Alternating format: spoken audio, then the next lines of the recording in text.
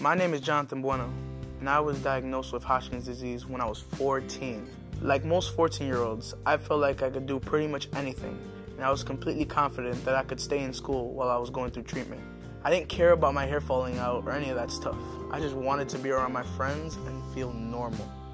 Things didn't go quite according to plan though. Because of the treatment, my immune system was weak, so I got sick really easily, which meant going to my public high school was basically out of the question. I went to the Board of Education and asked for help. They gave me two tutors and I received two hours of schooling every day at home. It may sound like fun to miss class, but figuring out how to get through school is just another one of the many issues we face as young adult survivors.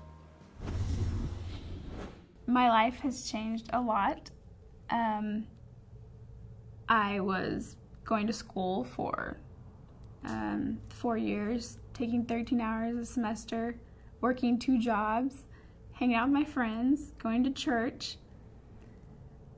joining organizations, and now I don't do any of that. I haven't been in school for a year. School. I missed almost all of my seventh grade year, much of my eighth grade year, and and a lot of my ninth and tenth grade years. My treatment was only um, it was three months on chemo every week, and then off for a month, and then on for another month to do a bone marrow harvest.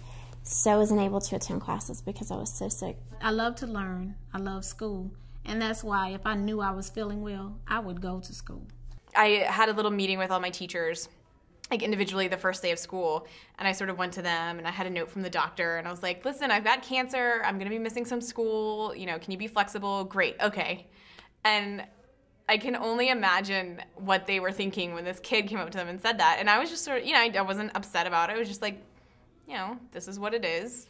Please be nice. I still was behind academically, but not as behind as I, I, I could have been given, you know, my treatment and, and, and my diagnosis. My teachers worked with me. My brother was at the same school that I was at, so if he needed to pick up my books or if he needed to pick up my assignments, he would bring that to the hospital. And then my dad, uh, whenever he was around, he would help tutor me if I needed it. And mostly it was just me teaching myself chemistry or you know, math or whatever. My physical life changed a lot after I was diagnosed and all through treatment. Um, I wasn't allowed to go to school um, for a lot of my treatment, and so I was away from my friends.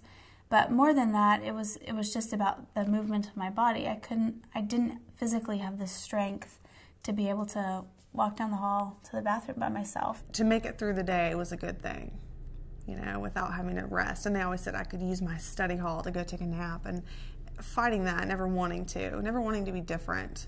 Even though your focus might be on I want to I want to live, I don't want to die. This chemo makes me sick really think about that you want to have you want to keep uh, you know interacting with people your age both people that are patients and people that aren't patients people that don't have a life that's only cancer.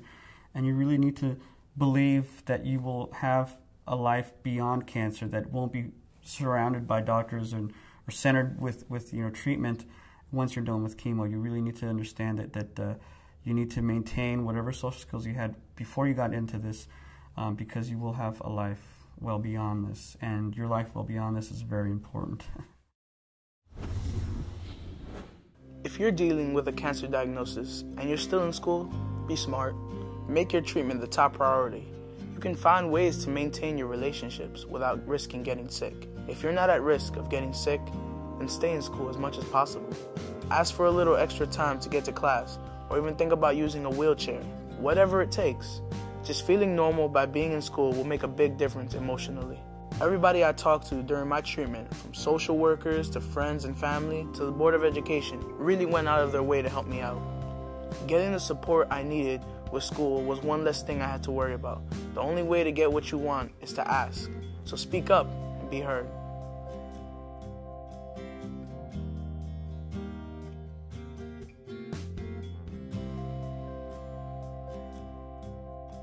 If you are dealing with school related issues, it is important that you talk to your doctor or contact these cancer related organizations for more information.